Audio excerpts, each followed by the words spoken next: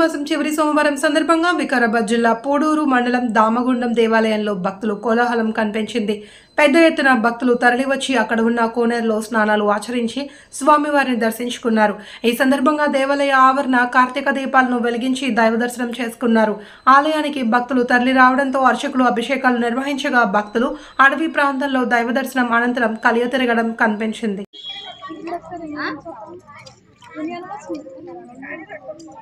हाय कोई ना आओ सन्निधो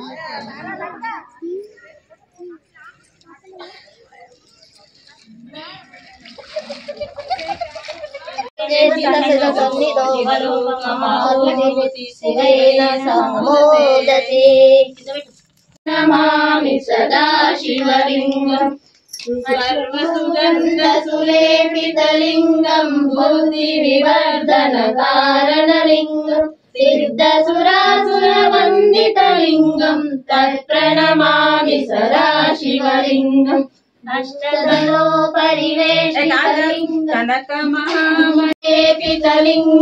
पङ्कजहार सुशोभितलिङ्गम् सञ्चित पापविनाशकलिङ्गम् तत्प्रणमामि सदाशिवलिङ्गम् देवगणाचितसेवितलिङ्गम् मा वैभव लिङ्गम् दिनकरकोटिप्रभाकरलिङ्गम् प्रभाकरलिङ्गम् सदा शिवलिङ्गम् अक्षरदलोपरिवेष्टितलिङ्गम् सर्वसमुद्भवकारणलिङ्गम् अष्टदरिद्रविनाशकलिङ्गम् तर्प्रणमामि सदा शिवलिङ्गम् लिङ्गाश्च गमिलम् पुण्यं यत् पुत्रिरुभूति सुरोवरपूजितलिङ्गम् सुरवर परम सदाचितलिङ्गम् परमपरम् परमातज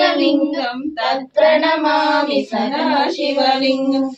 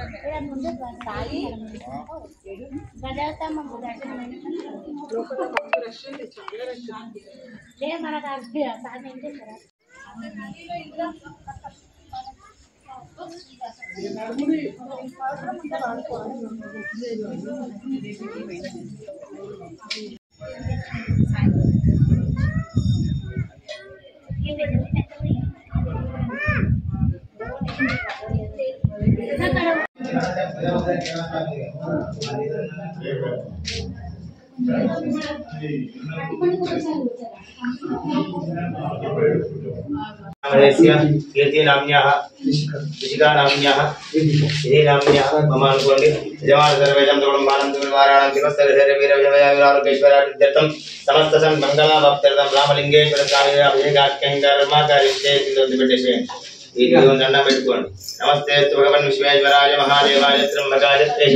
त्र्यंबकाय त्रिपुरंबकाय श्रीकांतिकाय कालाद्राय नीलकंठा मृत्युंजयाय सर्वेश्वराय सदाशिवाय श्रीमहादेवाय महास्थानंदमर्मजाते ओमाप्याय स्वतवे